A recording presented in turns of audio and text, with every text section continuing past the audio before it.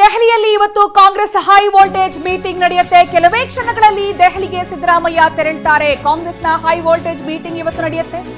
ಯಾರಾಗ್ತಾರೆ? ನೂತನ ಸಾರಥಿ ಕರ್ನಾಟಕಕ್ಕೆ ದೆಹಲಿಯಲ್ಲಿ ನಿರ್ಧಾರ ಆಗುತ್ತೆ. ಕೆಲವೇ ಕ್ಷಣಗಳಲ್ಲಿ ದೆಹಲಿಗೆ ಸಿದ್ದರಾಮಯ್ಯ ತೆರಳುತ್ತಾರೆ ದೆಹಲಿಗೆ ಆಗಮಿಸುವಂತೆ ಹೈಕಮಾಂಡ್ ಈಗಾಗಲೇ ಬುಲಾವ್ ಕೊಟ್ಟಿದೆ. ಸಿದ್ದರಾಮಯ್ಯ ದೆಹಲಿಗೆ ತೆರಳುತ್ತಾರೆ ದೆಹಲಿಯಲ್ಲಿ ಸಿಎಂ ಆಯ್ಕೆ ಕುರಿತಂತೆ ಮಹತ್ವದ ಸಭೆಗೆ ಕ್ಷಣಗಣನೆ. ಸೋನಿಯಾ ಗಾಂಧಿ, ರಾಹುಲ್ ಗಾಂಧಿ ಎದುರಿಗೆ ಮಾತುಕತೆ ನಡೆಯುತ್ತೆ. ಖರ್ಗೆ ಅವರ ಸಮ್ಮುಖದಲ್ಲಿ ಸಿಎಂ ಆಯ್ಕೆ ಕುರಿತು ಚರ್ಚೆ ನಡೆಯುತ್ತೆ. ಇನ್ನು ಸಿದ್ದರಾಮಯ್ಯನವರ ಜೊತೆಗೆ ಜಮೀರ್ ಅಹಮದ್ ಖಾನ್ ಕೂಡ ತೆರಳುತ್ತಾರೆ ಕೆಲವೇ ಕ್ಷಣಗಳಲ್ಲಿ ದೆಹಲಿಗೆ ತೆರಳಲಿದ್ದಾರೆ. ಸುಮಾರು ಮೂರು ನಲವತ್ತ ಐದಕ್ಕೆ ದೆಹಲಿ ತಲುಪುತ್ತಾರೆ ಅನ್ನುವಂತಹ ಮಾಹಿತಿ ಇದೆ. ಸಿದ್ದರಾಮಯ್ಯ ದೆಹಲಿಗೆ ತೆರಳಿದಂತಹ ಸಂದರ್ಭದಲ್ಲಿ ಅಲ್ಲಿ ಒಂದು ಮಹತ್ವದ ಸಭೆ ಅಂದ್ರೆ ಸಿಎಂ ಆಯ್ಕೆಗೆ ಸಂಬಂಧಪಟ್ಟಂತೆ ಈ ಸಂದರ್ಭ ಸಿದ್ದರಾಮಯ್ಯನವರು ತಮ್ಮ ಒಂದು ಅಭಿಪ್ರಾಯ ಯಾವ ಕಾರಣಕ್ಕೆ ತಮ್ಮನ್ನ ಮುಖ್ಯಮಂತ್ರಿ ಮಾಡಬೇಕು?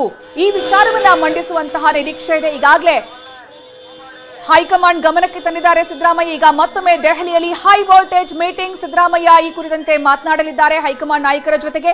ಇನ್ನು ಎಚ್ ಎಲ್ ಏರ್ಪೋರ್ಟ್ಗೆ ತೆರಳುತ್ತಾ ಇದ್ದಾರೆ ಮನೆಯಿಂದ. ಸಿದ್ದರಾಮಯ್ಯನವರು ತಮ್ಮ ನಿವಾಸದಿಂದ ಹೆಚ್ ಎಲ್ ಏರ್ಪೋರ್ಟ್ ಕಡೆಗೆ ತೆರಳುತ್ತಾ ಇದ್ದಾರೆ. ಅಲ್ಲಿಂದ ದೆಹಲಿಗೆ ನೇರವಾಗಿ ಅವ್ರ ಜೊತೆಗೆ ಜಮೀರ್ ಸಾಥ್ ಕೊಡ್ತಾರೆ ಅನ್ನುವಂತಹ ಮಾಹಿತಿ ಇತ್ತು. ಇನ್ನು ಸಿದ್ದರಾಮಯ್ಯನವರು ದೆಹಲಿಗೆ ತೆರಳಿ ಅಲ್ಲಿ ಮೂರು ನಲವತ್ತ ಐದರ ಸುಮಾರಿಗೆ ತಲುಪ್ತಾರೆ. ನಂತರ ಮೀಟಿಂಗ್ ಆರಂಭವಾಗುತ್ತೆ ಅನ್ನುವಂತಹ ಮಾಹಿತಿ ಇದೆ.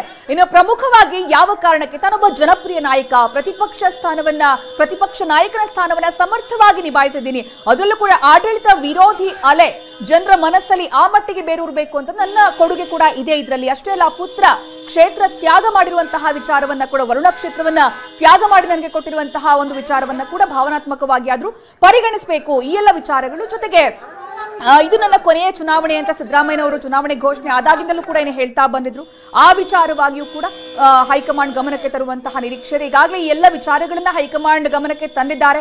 ಅಷ್ಟೇ ಅಲ್ಲ ಅಲ್ಲೂ ಕೂಡ ಎರಡು ರೀತಿಯ ಅಭಿಪ್ರಾಯ ವ್ಯಕ್ತವಾಗಿರುವ ಹಿನ್ನೆಲೆಯಲ್ಲಿ. ಅಂದ್ರೆ ಹೈಕಮಾಂಡ್ ಮಟ್ಟದಲ್ಲಿ ಡಿ ಕೆ ಶಿ ಅವರಾಗ್ಬೇಕಾ ಸಿದ್ದರಾಮಯ್ಯನವರು ಸಿಎಂ ಆಗ್ಬೇಕಾ ಅನ್ನುವಂಥ ವಿಚಾರದಲ್ಲಿ ಒಂದಷ್ಟು ಎರಡು ರೀತಿಯ ಅಭಿಪ್ರಾಯಗಳು ವ್ಯಕ್ತವಾಗಿರುವ ಹಿನ್ನೆಲೆಯಲ್ಲಿ ಇಲ್ಲಿ ಇಬ್ರು ನಾಯಕರು ಕೂಡ ತಮ್ಮ ಪರವಾಗಿ ಯಾವ ವಾದವನ್ನ ಮಂಡಿಸ್ತಾರೆ. ಅದು ಬಹಳ ಪ್ರಮುಖ ಪಾತ್ರ ವಹಿಸುತ್ತೆ. ಅದರ ಜೊತೆಗೆ ಆಪ್ತರು, ಶಾಸಕರು, ಬೆಂಬಲಿಗರು ಯಾರಿಗೆ ಸಪೋರ್ಟ್ ಮಾಡ್ತಾರೆ? ಅದೇ ಈಗ ನಿರ್ಣಾಯಕ ಹಂತದಲ್ಲಿ ಇರೋದು. ಇನ್ನು ಆ ವರದಿಯನ್ನ ಆಧರಿಸಿ, ಆ ರಿಪೋರ್ಟ್ ಅನ್ನು ಆಧರಿಸಿ ನೂತನ ಸಾರಥಿಯ ಆಯ್ಕೆ ಆಗತ್ತೆ. ಆದ್ರೆ ಇಲ್ಲೂ ಕೂಡ ಹೈಕಮಾಂಡ್ ಮಟ್ಟದಲ್ಲೂ ಕೂಡ ಒಂದು ದೂರದೃಷ್ಟಿಯ ಆಲೋಚನೆ, ಇನ್ನೊಂದು ಈಗ ಸಿಕ್ಕಿರುವಂತಹ ಗೆಲುವಿಗೆ ಸಂಬಂಧಪಟ್ಟಂತೆ, ಜನರ ಮನಸ್ಸಲ್ಲಿ ಏನಿದೆ ಅಭಿಪ್ರಾಯ ಅನ್ನೋದಕ್ಕೆ ಸಂಬಂಧಪಟ್ಟಂತೆ ಎರಡೂ ರೀತಿಯ ಅಭಿಪ್ರಾಯ ವ್ಯಕ್ತವಾಗ್ತಾ ಇರುವ ಹಿನ್ನೆಲೆಯಲ್ಲಿ ಯಾರ ಒಂದು ಅಭಿಪ್ರಾಯ ಇಲ್ಲಿ ನೂತನ ಮುಖ್ಯಮಂತ್ರಿ ಆಯ್ಕೆಗೆ ಸಹಕಾರಿಯಾಗುತ್ತೆ. ಇದು ಈಗ ಸದ್ಯಕ್ಕಿರುವಂತಹ ಕುತೂಹಲ.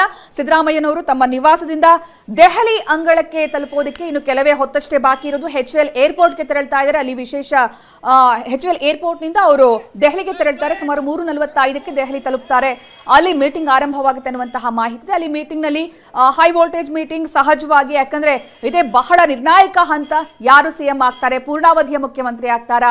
ಅಲ್ಪಾವಧಿಯ ಮುಖ್ಯಮಂತ್ರಿ ಆಗ್ತಾರಾ? ಇಬ್ರಿಗೂ ಫಿಫ್ಟಿ ಫಿಫ್ಟಿ ಫಾರ್ಮುಲಾ ಹಂಚಲಾಗತ್ತಾ? ಯಾವ ರೀತಿ? ಅಂದ್ರೆ ಸಿದ್ದರಾಮಯ್ಯನವರು ಮುಖ್ಯಮಂತ್ರಿ ಆದ್ರೂ ಕೂಡ ನಮ್ಗೆ ಆಬ್ಜೆಕ್ಷನ್ ಇಲ್ಲ.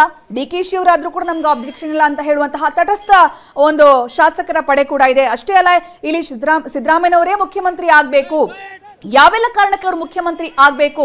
ಪಕ್ಷವನ್ನ ಸಂಘಟಿಸಿದ್ದಾರೆ, ಪ್ರಚಾರದಲ್ಲಿ ಅತ್ಯಂತ ಸಕ್ರಿಯವಾಗಿ ಪಾಲ್ಗೊಂಡಿದ್ರು. ಜೊತೆಗೆ ಜನಪ್ರಿಯ ಮುಖ್ಯಮಂತ್ರಿ ಈ ಹಿಂದೆ ಮುಖ್ಯಮಂತ್ರಿ ಹುದ್ದೆಯನ್ನು ಸಮರ್ಥವಾಗಿ ನಿಭಾಯಿಸಿರುವಂತಹ ಚಾಕಚಕ್ಯತೆ ಅವರಲ್ಲಿದೆ. ಜೊತೆಗೆ ಕಳಂಕ ಇಲ್ದಿರುವಂತಹ ಮುಖ್ಯಮಂತ್ರಿ. ಈ ರೀತಿ ಹಲವು ಸಿದ್ದರಾಮಯ್ಯ ಪರವಾಗಿ ವಾದ ಅವರ ಆಪ್ತ ವಲಯ ಶಾಸಕರು ಮಂಡಿಸ್ತಾನೆ ಬಂದಿದ್ದಾರೆ.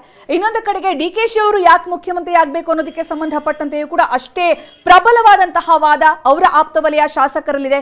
ಡಿ ಕೆ ಶಿ ಅವರು ಪಕ್ಷ ಸಂಘಟನೆ ಮಾಡಿದ್ದಾರೆ. ಕೆಪಿಸಿಸಿ ಅಧ್ಯಕ್ಷರಾಗಿ ಚುನಾವಣೆಯ ಹೊಣೆ ಹೊಣೆ ಹೊತ್ತು ಪ್ರಚಾರದಲ್ಲಿ ಸಕ್ರಿಯವಾಗಿ ಭಾಗಿಯಾಗಿ ಪಕ್ಷವನ್ನ ತಳಮಟ್ಟದಿಂದ ಸಂಘಟಿಸೋದ್ರಿಂದ ಹಿಡಿದು ಈ ಮಟ್ಟಿಗೆ ನೂರ ಮೂವತ್ತಾರು ಸ್ಥಾನಗಳನ್ನ ಗೆಲ್ಲುವ ತನಕವೂ ಕೂಡ ಅವರ ಶ್ರಮ ಬಹಳ ಇದೆ ಅನ್ನುವಂತಹ ಅಭಿಪ್ರಾಯ ಡಿ ಕೆ ಬಣದಲ್ಲೂ ಕೂಡ ವ್ಯಕ್ತವಾಗ್ತಾ ಇದೆ.